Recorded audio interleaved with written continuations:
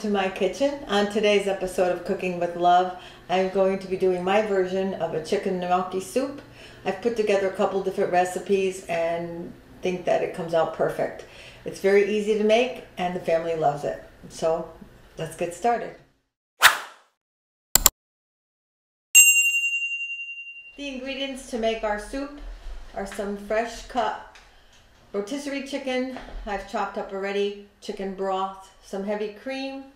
I have some minced garlic that I just minced, fresh parsley, salt and pepper, a little bit of olive oil. I have diced carrots, diced celery, diced onions, a little bit of flour, butter, fresh washed baby spinach leaves, and a package of ready-made gnocchi. And that's all we need. The first thing we're going to do is melt our butter and a little bit of olive oil in a sauce pot.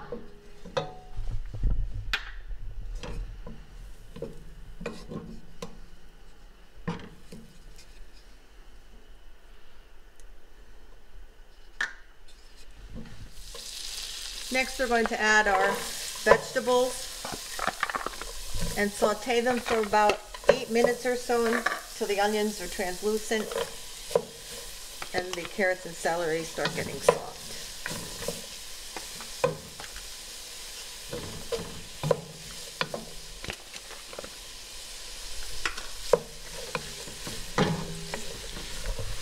Just before our vegetables are done, I'm going to add the fresh minced garlic so it can all cook together.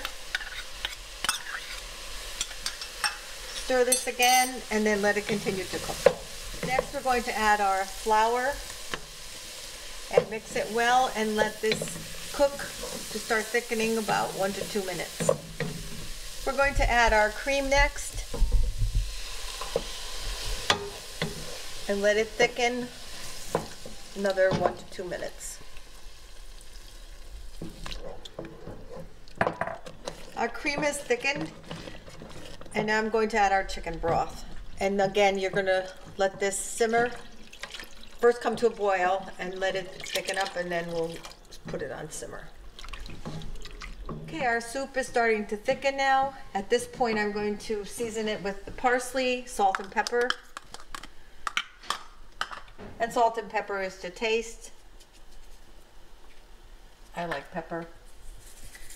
We can always add more salt later, so you don't want to put too much yet. Give that a good stir, and at this point I'm going to add the chicken to heat through.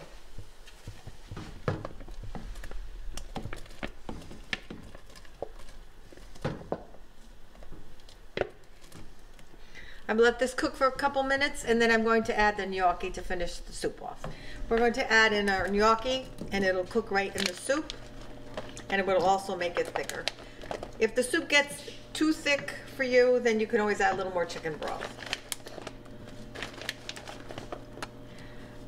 When the gnocchi's done, the last step is last minute, add in the spinach and it will wilt and your soup will be ready. This is just about done. It's nice and thick. Before I add the spinach, I just want to make sure there's enough salt and pepper. It needs a little bit more salt.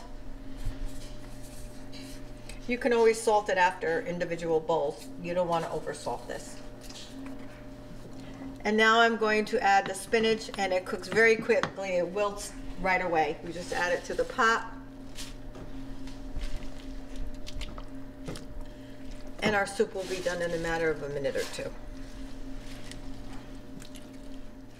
Our soup is done. I'm going to give it a little taste test to see how it come out.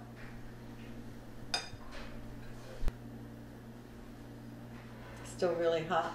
It's great with some crusty bread warmed up. It's perfect. It's great to make and easy to make, especially if you have leftover chicken. And uh, it comes together very quickly. I think your family will love it. Give it a try.